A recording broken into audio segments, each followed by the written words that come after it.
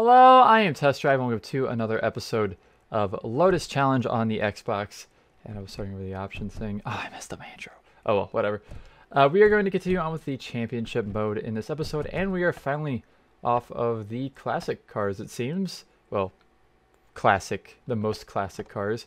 Uh, we are on to just regular B class, in which we have the Esprit Series 2, the Proton Satria GTI, and that appears to be it. Hmm. I kind of want to use the hatchback. I'm not going to lie. Kind of want to use the hatchback. I like how also the livery says default until it loads in and it says UK team. Interesting. Um, let's go with let's go with the Spanish team. Why not? Nice uh, red and yellow. And I guess we will continue on with that. And we will. Everything looks right there, right? Yeah. And we will go. We have Bellingham, London, and Florida. All novice again. It looks like it might actually be the same exact tracks that we raced on for the previous few episodes. I actually don't know. We'll see, I guess. Alright, let's try and get a good launch off of this. Go! Oh, I'm still gonna spin the tires apparently. This fucking hatchback fills up my entire... Oh, the third brake light comes on with the headlights. Yep, that's that's correct. Uh, how do I... There we go. Probably gonna have to use a further view for this because it's it's it fills up my entire camera otherwise. It actually fills it up. Oh god, no matter what. But at least I can see on the sides a little bit uh, with the further chase camera. So we'll see how this goes. I bet these will be a little bit faster at least than at least the uh, the slowest or the the B class classic cars. I guess I don't know. We'll see. Uh oh. Oh Jesus. Oh Jesus. Hmm, works out for me. I'll take it. I, I would have the headlights on, but it irritates me if the third brake light comes on with it. Ah, shit. Excuse me, coming through. There's an actual Elise there, too. Huh. And this must have been right at the beginning, I guess, of the uh, that generation of the Elise, and maybe even Exige, I don't know. I don't know what the Exige looks like that's in this game. I think the Exige did come out in 05, but I guess the Elise, the updated Elise did come out earlier. I don't know. I don't remember. I'm not really too well versed on, uh, oh, teammate, by the way, out. Too well versed on, oh god, Lotuses in general. So, yeah. This is also going to be a pain in the ass, it seems. Uh, I'm already kind of struggling to just get to first place, which kind of sucks. Oh god, dude. Oh my god! What in the hell just happened? Ow. Thank you for that. Is this thing rear-wheel drive? I guess it is. I don't know. It feels like it's front wheel drive. Uh, I'm in last place. That's really cool and good. I'm gonna actually just do this. Maybe, uh, maybe I might have a little bit of an idea have to, uh, an idea of how to drive this car. I don't think so. I, I, I think this is going to be a fight for my life uh, from here on out, or well, from I guess technically the previous episode or two and out uh, with the faster cars. They don't seem like they're that easy to drive at all, but we'll see. Try and make my way downtown real quick as fast as I can. Can't see shit, by the way. That was a, uh, oh my god! They pushed me against the wall and I just stopped. What the hell? I guess I should have thought of the fact that the, uh, this generation, oh, there's an older Elise, looks like, as well, that just passed me. Uh, the newer generation of Elise I've also been seeing in this. I think it was also in Project Gotham Racing 2, so that does make sense of uh, 2003. Out. I still don't think that there's really much of any kind of actual mechanical damage, even though it says there is. So, I don't know. Let's try and take some positions, I guess. See how that goes. Oh my god. And we do only have three laps still, which doesn't also... Well, I mean, I guess it does help out a little bit because the races aren't going to be super long. But, uh... Jeez. I'm going to bumper... Or I'm going to this camera for now. We'll do, uh, we'll do some hood cam for this episode. I just can't see anything past this thing whenever I go down that hill, so I'd like to be able to see something at least. So we'll try. Is that a Europa, by the way? odd car to have, it seems. I also do appreciate that this is also... Oh, no, it's not a Europa. What the hell is that thing? Oh, shit.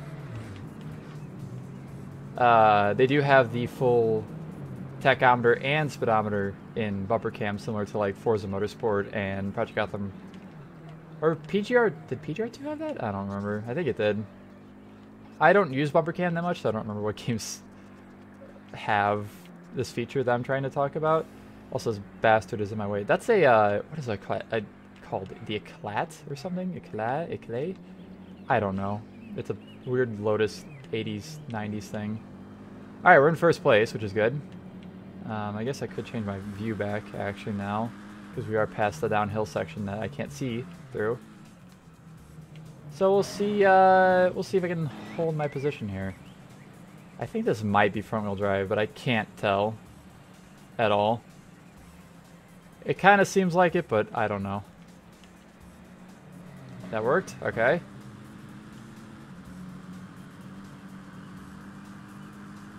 Also, we're back on the Babby tracks, which is nice. So I guess there's only a few tracks in this game from this, is what I could tell so far, at least. Alright, first place. Starting off, uh, not what I would consider strong, but it was a start, to say the least. Second place got exactly like three minutes and something. Oh, the Excel? Mm, you sure it's on a Hyundai Excel? I don't know. Um, we'll actually go to the next race at least. Since I got uh, thumbnail off of the first race for the first episode, we'll maybe do it for the second race in this episode do something a little bit different. Because I like having variety in my videos. Okay, la la la, go. Okay. Not the exactly best launching car in the game for sure. But as long as you don't spin the wheels, it seems to be not too incredibly bad, so... It's fine. It's whatever. Uh-oh, this isn't good. Specifically because I can't get past people Come on, Kia, get out of my way. Yeah, Kia. Oh, jeez. For those of you who understand why I, am saying that about the Elan, I am glad that you're... I hopefully somebody gets it at least. If nobody gets it, then I'm going to cry, probably.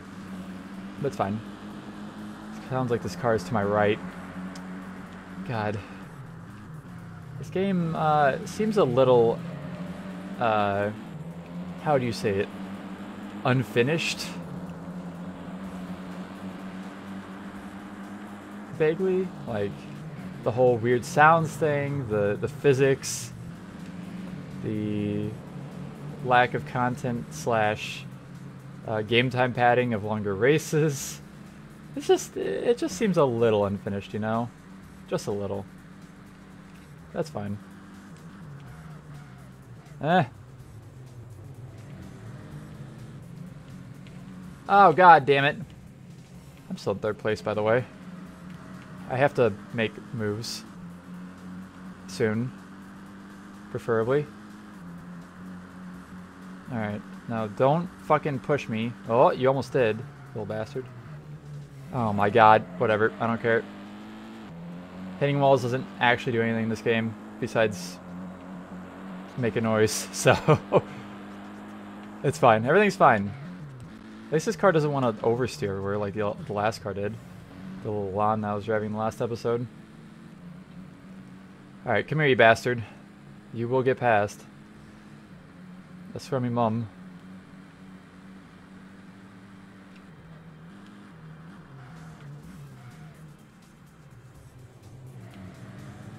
I must go quickly, hastily. Hello. That works. I'm no longer afraid to bully people out of my way either. Does this car really have square exhaust tips, by the way? I see those. Hmm. Interesting. To say the least. Ow! I said ow before I even hit the wall. It was a ow preparation. There we go. Second race done. It's gonna be like the shortest episode of the game, actually. Hmm, maybe. I don't know if we'll have uh, more races on these. Hey, the Lana C. now available. Neat. And watch replay. Okay, some of that will work, and we shall save and continue on to our final race into Florida at Novice again, or the Novice layout of Florida. Definitely a lack of content in this game. Not the biggest issue, but it's uh it's adding on to a list of negatives is the problem. If there was only a few negatives, yeah, it wouldn't make that much of a difference, but... Oh, this is the novice Florida. Yeah, I remember this now. Kind of. Not really. Hello, people. I pass all of you in the first turn. Oh, hello. Did I break my brake light? Nope. It's just clipping, I guess. Hello, Elise. Hello, what did you call? The Excel? I didn't even know that Lotus Excel was a thing. Excuse me, by the way. I really didn't.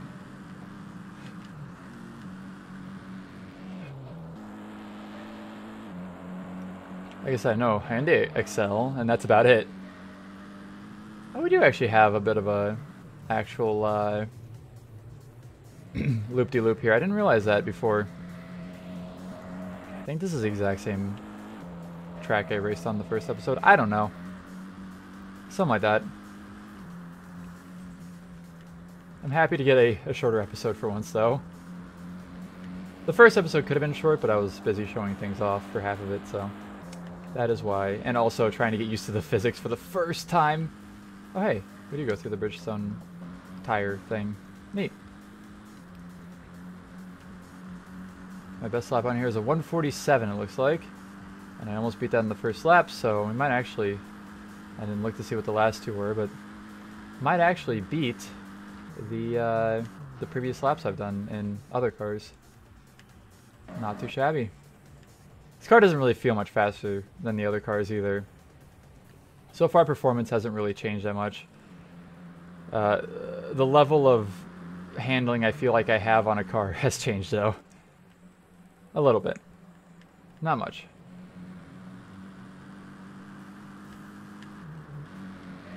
Motor Trend. Motor Trend on demand. I think it's actually Motor Trend Plus now because they were like, oh wow, everybody's doing this Plus thing. We're going to do the Plus thing.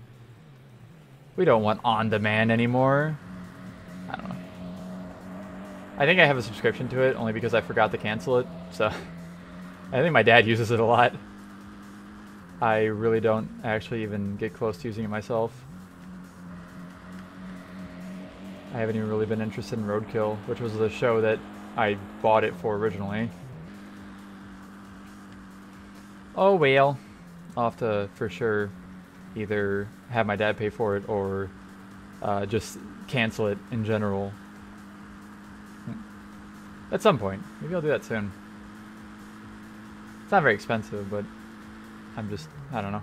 If I'm not using it, why would I be paying for it, you know? Oh god. Please don't do that. Oh my god, please. Go. Also, speaking of Lotus things I didn't know existed, this hatchback, didn't know Lotus made like a 90s, 2000s hatchback. I'd have to look it up. It's probably just a rebadged car, because that's what a lot of their non uh, Elise slash Exige cars are. Or Esprit. Esprit is also Lotus. Uh, 100% Lotus. I don't know. Again, if anybody has any information on what I'm talking about here, feel free to leave in the comments, because I'm always interested to learn more about weird cars and things.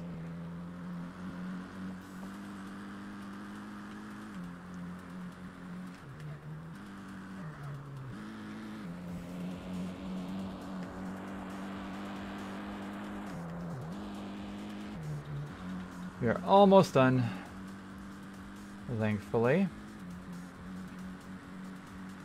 And with that, we are done. Wow, race finished. Very nice. Uh, I didn't even look to see if I beat my times or not, but I guess I could look at the video footage, which I probably won't do because I will absolutely forget. There we go. We got our full 30 points. We got the 98 Elise 111S and the Elise Series 2. Very nice. And that appears to be all of that. Sure is. Uh, we'll go ahead and save. I actually finally updated the date and time of my Xbox, so now it might actually tell me I'm in 2022, not 2004. That'd be kind of nice. Uh, yeah, there we go. We go to our collection. We have a lot more cars unlocked here. Our uh, our list is definitely filling up pretty quick with unlock things instead of lock things. So, yeah, I guess that will conclude this episode. Only 16 minutes. Look at that. Short episode. Anyways, thank you all so much for watching this episode of Lotus Challenge, and I will see you all in the next episode. Bye.